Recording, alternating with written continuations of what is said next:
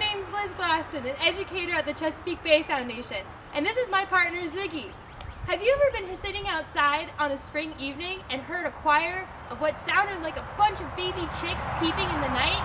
Well, those weren't chicks, were they, Ziggy? They were actually spring peepers, a tiny frog that's only about the size of a postage stamp. These small brown frogs have dark X's on their back, and at the end of their fingers, large sticky toe pads.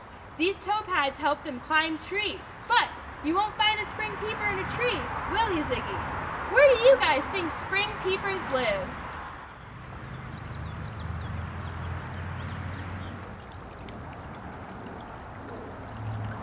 So where are some places you thought about that spring peepers might be found at?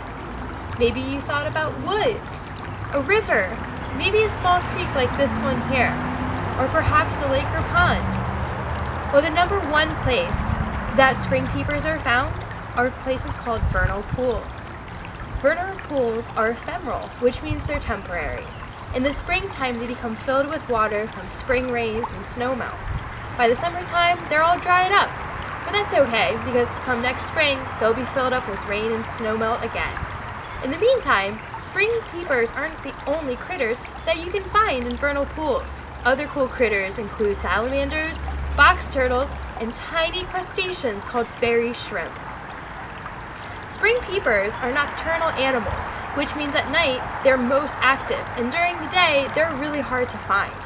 During the day, you'll find spring peepers hiding under leaf litter on the forest floor, or perhaps behind the loose bark of a tree. At nighttime, that's when the males join together to sing their song to attract the females. What is the life cycle of a spring peeper? Do you know what the spring peeper's life cycle or the life cycle of other frogs could be?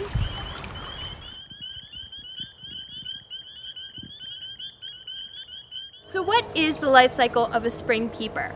Spring peepers, like most frogs, go through something called metamorphosis. Other critters that go through metamorphosis include butterflies and dragonflies. At nighttime, those calls that you hear are the male spring peepers singing out to attract a mate. A male whose song is the fastest and the loudest attracts the females. Once a female finds a mate, she lays her eggs. She can lay up to a thousand eggs and after the male fertilizes it, it takes anywhere between two days and two weeks for those fertilized eggs to hatch into tadpoles. Tadpoles have long tails and gills to help them live underwater. Their tails are so long, in fact, that these tadpoles can sometimes be bigger than the adult spring peepers themselves.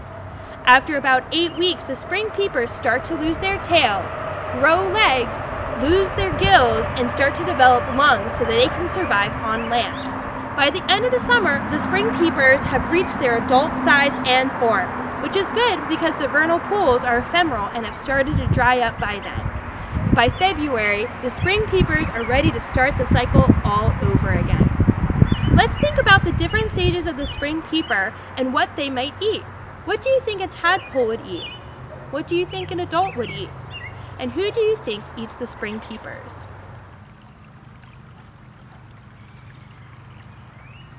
So what do spring peepers eat and who eats them?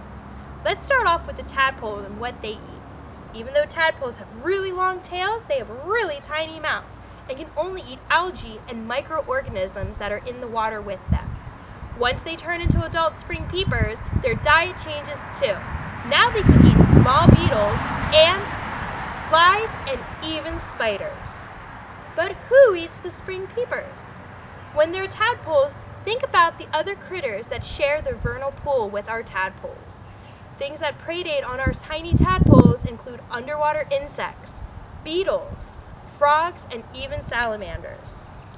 Once they metamorphose into frogs, spring peepers are really well camouflaged, but they still become a snap for things like snakes, salamanders, large predaceous insects, skunks, owls, and other birds of prey. What would happen to the food web of the vernal pool if our spring peepers were suddenly to disappear?